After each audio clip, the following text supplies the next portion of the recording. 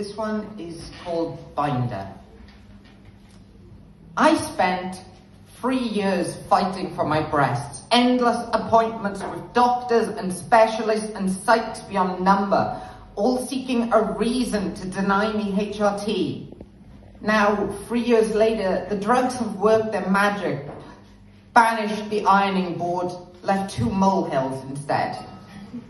But I've made a discovery. It turns out that I'm not male or female, but non-binary instead. So there are days when I see these molehills and feel sparks of dismay, momentary longing for the days I was flat as a board. So some days I wear a binder, mash my tits flat, just so I can pass even briefly as masc. But that does nothing to devalue my fight or give strength to those who would deny hormones entirely. For I am but one out of so many, a single speck of confusion and fluidity out of thousands of cases.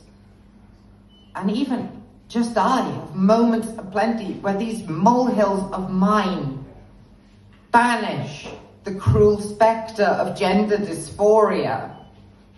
And so without question, I will say that every argument and every battle, every hard-won victory in those London hospitals was worth every fragment of energy and every last second I was forced to throw into them.